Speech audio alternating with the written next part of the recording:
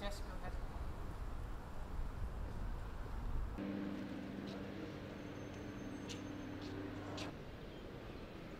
Novichok compounds were actually manufactured in the 70s and 80s in the former Soviet Union. The reason that they were manufactured was that um, they wanted to work around the Chemical Weapons Treaty. So, in order to do this, they made two separate components that were non toxic that, when mixed, would form a nerve agent. And um, the severity of the action was greater than that with the uh, previous nerve agents known.